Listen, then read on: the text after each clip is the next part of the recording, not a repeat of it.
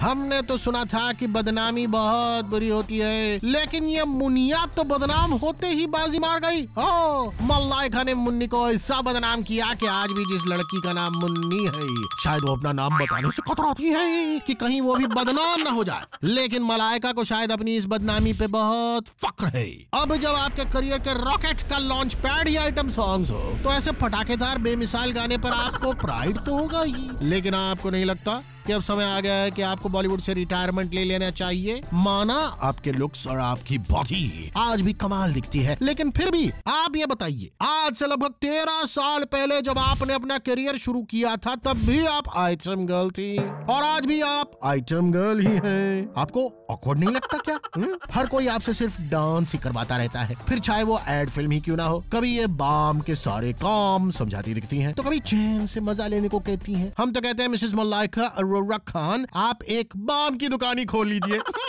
ताकि जब इतनी उम्र में भी अभी तो मैं जवान हूँ वाला नाच नाच के आपकी हड्डियाँ खड़कने लगेंगी। तो ये बाम ही होगा जो आपके काम आएगा। और इसका नाम होगा बदनाम बाम। इस उम्र में भी जवानी के नशे में चूर। मल्लाइका है हमारे खानदान पे नंबर फाइव